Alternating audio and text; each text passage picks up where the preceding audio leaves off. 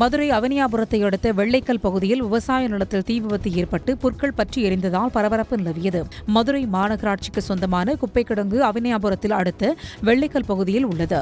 இந்த குப்பை கிடங்கிற்கு அருகே உள்ள விவசாய நிலத்தில் கால்நடைகளுக்கு தேவையான புற்கள் மற்றும் தீவனங்கள் வளர்க்கப்படுகின்றன. இந்நிலையில் மாலை நேரத்தில் ஏற்பட்ட திடீர் தீ விபத்தால் வெளிநிலத்தில் இருந்த அந்த புற்கள் பல அடி உயரத்திற்கு கொழுந்துவிட்டு எரிய தொடங்கின.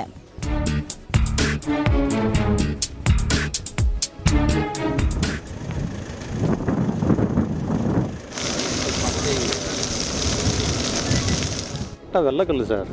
வெள்ளைக்கல் இங்கே லைட்டாக இது ஸ்டார்டிங்கில் சின்னதாக தான் இருந்துச்சு தீ. அதுக்கப்புறம் பார்த்தா ரொம்ப பெருசாக இருந்துச்சு. நான் வந்து அவனியாபுரம். அது புகையை பார்த்துட்டு வந்து சரி சின்னதாக இருக்குன்னு பார்த்தா அது ரொம்ப பெருசாக இருந்துச்சு. சரின்ட்டு அப்புறம் நூறுக்கு கால் பண்ணேன். கால் பண்ணி அவங்க ஃபயர் சர்வீஸ் கனெக்ட் பண்ணி அப்புறம் திருப்பன்ற ஃபயர் சர்வீஸ்லேருந்து வந்துட்டாங்க. உடனே வந்துட்டாங்க.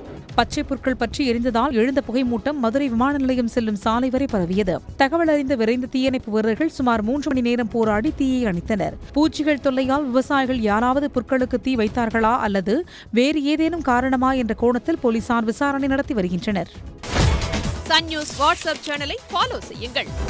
கியூஆர் கோடை ஸ்கேன் செய்து சன் நியூஸோடு இணைந்திருங்கள்.